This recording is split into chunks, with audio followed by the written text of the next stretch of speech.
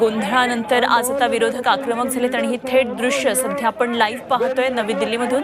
राहुल गांधी यांच्या नेतृत्वाखाली सध्या हे आंदोलन सुरू आहे आणि विरोधक प्रचंड आक्रमक झालेत. मल्लिकार्जुन खरगे देखील अ, बाजूला दिसत आहेत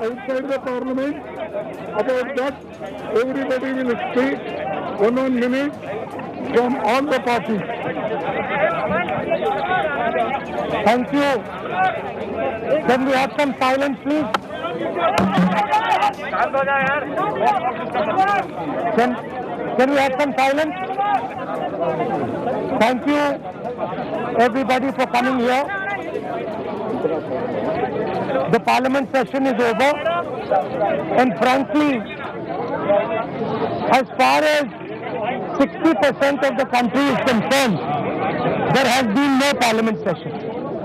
Because the voice of 60% of this country has been crushed, humiliated, and yesterday in the Rajya Sabha, physically beaten. We raised the issue of Pegasus we asked the government to debate Pegasus. The, the government refuses to debate Pegasus. We raised the issue of farmers outside parliament because we cannot raise it inside parliament. We raised the issue of price rise outside parliament because we could not raise it inside parliament.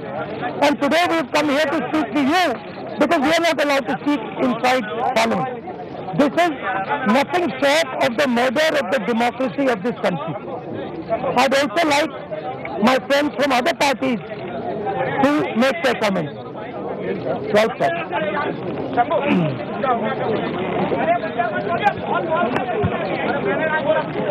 देखिए जैसे कि अभी राहुल जी ने कहा कि parliament session हुआ ही नहीं है। अगर विपक्ष को अपनी बात रखने का मौका नहीं मिला है। हम जनता के हित में, देश के हित में जो बात रखना चाहते थे, हमारा आवाज़ आप तक पहुँचने नहीं दिया। अगर आप इसे पार्लियामेंट का सेशन कहते हैं तो मैं मानता हूँ यह पार्लियामेंट का सेशन नहीं थी। हमारे सबके सामने हमने कल देखा है, लोकतंत्र की हत्या हुई हमने देखा है। हमारे आँखों से देखा है। जिस तरह से कल राज्यसभा में मार्शल के ड्रेस पर बाहर से प्राइवेट लोग आकर हमारे महिला सांसद और हमारे सभी सांसदों के ऊपर हमला करने की कोशिश की, मुझे लगा ये मार्शल नहीं थे, मार्शल लॉ लगाया था राज्यसभा में और पार्लियामेंट में। हमने इस प्रकार से जो लोग खड़े थे कहे तो मैंने तो बोला कि मुझे लगता है कि मैं पाकिस्तान बॉर्डर पे खड़ा हूँ। और हमें रोका जा रहा है अंदर जाने से। इस देश में कल पवार साहब ने जो कहा है कि उनके 55 ईयर पचपन साल के संसदीय लोकशाही के पूरे जीवन में इस प्रकार का चित्र ना खड़गे साहब ने देखा है, न पवार साहब ने देखा है और 20 साल में न हमने देखा है।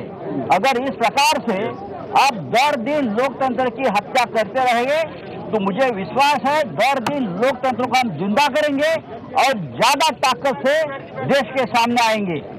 मैं मैं जो ये जो हमारी अपोजिशन की यूनिटी है उसको धन्यवाद देता हूँ कि कल भी हम एक साथ थे और आज भी एक साथ है और कल भी रहेंगे। धन्यवाद। मराठ्यांची तळपती तलवार म्हणजे